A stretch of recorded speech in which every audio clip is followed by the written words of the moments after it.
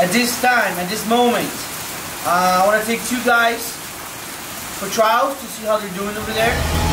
Uh, What's up, everybody, and welcome back to the channel. My name is Joe from Funicello, and I am the founder of SoccerViza. Before we get into, the, into today's episode, make sure you smash that like button, hit that subscribe button, and don't be afraid to share this video. It helps us tremendously on our journey here in Costa Rica to build our own professional club. All right, today I want to speak about the clubs we work with. Why do we work with the clubs? Who do we invite to our to our uh, pro pro player development center? Why do we invite these clubs? And what's the reasoning behind it? You see players like Josue Soto, who now plays for Austin Bold, who came through our system. He went to our combine. He signed for a big club, which was Querétaro in Mexico in Liga MX. Was loaned out to Cimarrones. Was the captain there. Uh, was not offered a new first team contract, but it helped his career get started, and he's now at Austin Bold. You look at players like Miguel Bustos, who came to our combine in New York. Benfica scouted him. Didn't sign with Benfica, ended up signing with Vitória Setúbal in the Portuguese Premier League, which is a huge club or a huge league. Um, unfortunately, he's no longer with the club, but we do have those success stories where players come in and sign with big clubs. But the reality is, if players are over 21, it's going to be difficult to sign with a big, big team. And why? Well, because you have players with experience from around the world that are out of contracts with experience compared to a college player, NISA player, NPSL player, who are not really considered professionals. And yes, maybe they are in, in, in your opinion and things like that. I respect that. But in the grand scheme of things, big clubs don't see their leagues or their resume of playing in those leagues as notable places where they might take them. Yes, it happens. It can happen right? If you have a sporting director or a coach or president who believes in you. But the reality is, it's hard to get players to those teams because there's players out of contract that have experience that they'd rather look at than maybe the players we have. Players we have are coming out of college, coming out of a NISA season, coming out of an NPSL season, coming out of USL 2 season. So because their leagues are not really known, they're looked at as amateur players. So for us, we can't have a team like uh, Leicester City come and or even smaller than that. Let's say a team like Aalborg in Denmark come and they probably are not going to take one of our players. They could, but the reality is they have agents calling them every day with players with experience. So the clubs we work with are smaller clubs where players that are older than 21 can get their career started. Remember, it took me five years, seventh division in England, uh, second division in Iceland, USL, until I got a contract in the top league in Finland where I was able to make enough money to sustain myself. So we want to put players in front of as many clubs as we can, whether they're small or big, and give them the opportunity to start their career. Then it's up to you to see what you do with that career. Remember, you're not going to make millions of dollars right away when you get your career started. A lot of you players that are 21 and older that are looking to start their career, you're looking at zero to maybe 1500 2000 per month plus housing and food.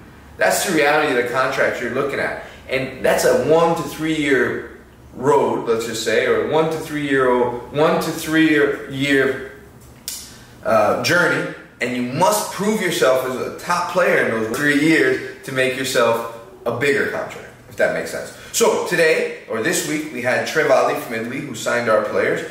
We also had a president from a small Brazilian club come in, and they're looking at foreigners. They have a lot of Brazilian players, but they want to add some diversity to their their uh, team, so he came as well. Now, Trevali, great club. They play in the fifth, the sixth division of Italy, trying to get promoted to the fifth. They provide housing, food, everything. And they, they give you a little bit of money as a salary. Now, is it a big league? No. Are you going to become a millionaire? No. But in that league, one, you can work on your game and your experience, which is so key because the league is all year round. And you look at some of the leagues in the States and college, you're not playing all year round. So these guys will get the opportunity to play all year long. Other part, they can play in the Italian Cup. They have a chance of relegation and promotion. If they do well, they're in the newspaper. And if they're in the newspaper, other teams in the area are going to take notice. Maybe an agent lives in the area and is going to read the newspaper and go see a game and say, I like that player. I want to take him from 5th division in Italy to 2nd division in Croatia. So there's just a lot more possibilities of playing in a lower league in Europe than there are playing in America. Now remember, everyone's roadmap is different.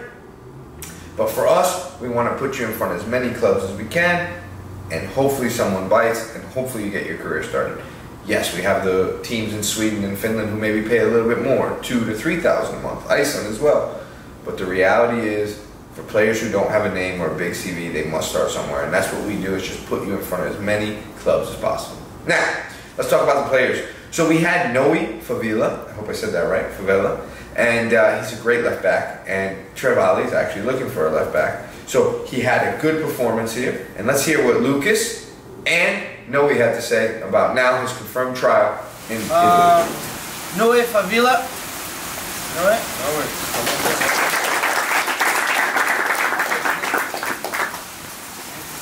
What do you? What, what about Noe? Tell me a little bit.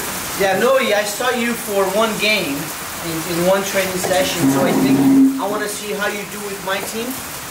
I want to see how you uh, respond to how we play. I want to see you there. I want to see you being part of the club, you know, for a couple of days, maybe a week or two, and we go, we're gonna arrange everything for you while you're there, and depending on how you do, you stay. So it's a great opportunity for us. Thank you. You're looking for a left back. I'm looking for a left back. I'm looking for a left back. So we want to take you there for a try and see how you do. Our next player that got a trial was Nico Toledo. And Nico's a special kind of player. He's like a Gattuso or Verratti, where he's just an engine of the team. He can win a tackle and he can do the box to box. And they weren't looking for a center mid, Trevali, but they saw him and said, this is a guy we need to take a closer look at because he adds something different to the game. And there's not a lot of players like Gattuso or Verratti out there who do a lot of the dirty work, are good on the ball, and are engines for teams. So good luck to, to, to Nico, and let's hear what we had, they had to say about him. Um, the other one is Nico Morales.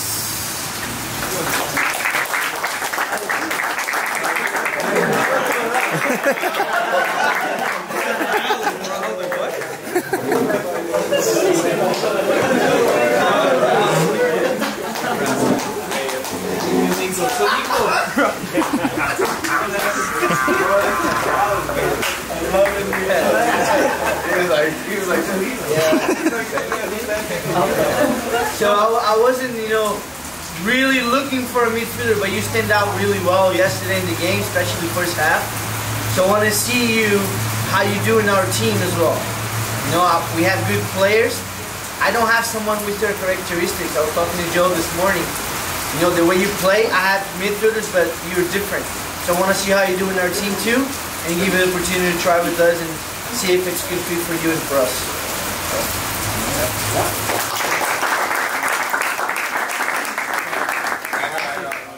And then the last player is Maxime. I love this story, right? Maxime is 19 years old, 20 years old, going on 20. And basically, he is a player from our youth program in America, and he has a French passport. So for him, he's been able to play for our U17s, come here to our center, and now get offered a semi-professional contract um, with this team in Italy. Now, he needs to go there and prove himself. With that Italian passport, if he can become one of the better players in the league at such a young age, we can market him better. Um, and so can Trevali. So let's hope he goes there and does well. And this is what he had to say. And uh, Maxime. Uh, Maxime, we're gonna. Yep.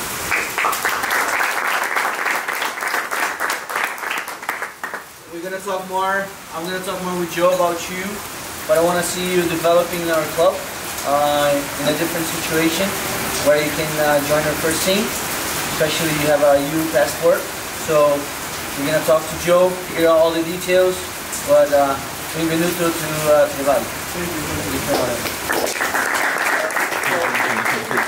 I want to make everyone clear, these guys could be leaving camp in the next two weeks. Yeah. So you guys could be leaving soccer. So if you decide to take it, you'll be out of here in two weeks. Um, you'll train with us and you'll join them for preseason um, to see how you do on trial. So congratulations to you. Uh, for the guys that didn't get anything, it's just round one. Still got two and a half months of scouts coming from around the world. So um, good luck to you all. Good luck to you guys. That's what you're here for. Man, you know, hopefully you take it. I think it's a good opportunity. We go from there. Now, those are three players that are going to Trevali. We've also sent three other players there, and hopefully the team gets promoted because SoccerViza has a big impact on that club this year. If they do, it helps us grow tremendously because our phone will ring with maybe bigger clubs or clubs in the area that are similar to Trevali that saw their success from our players, and it helps us get more opportunity for players. But we also had a Brazilian president here. And he's played in Aalborg in um, Denmark, and he's played for PSV Eindhoven in Holland.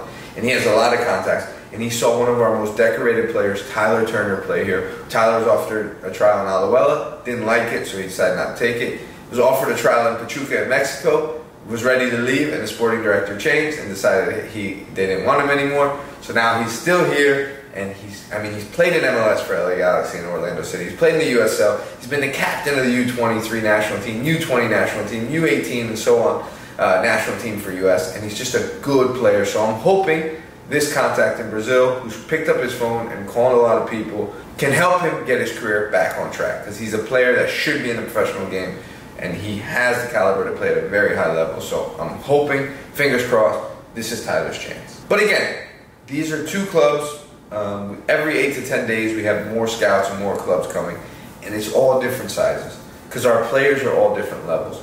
And what we want to do is just expose you guys to as many opportunities as possible. It's important. You're not going to be a millionaire if you don't have a resume. Even someone like Tyler, who's been the captain of the national team, maybe the highest he's going to make is five thousand a month.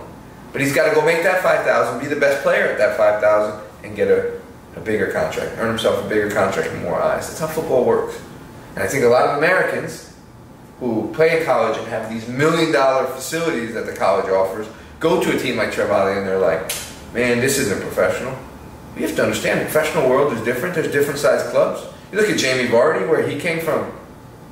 Crazy Jermaine Beckford, who, who was the leading scorer at Leeds, played for Everton. These are guys that started in small clubs.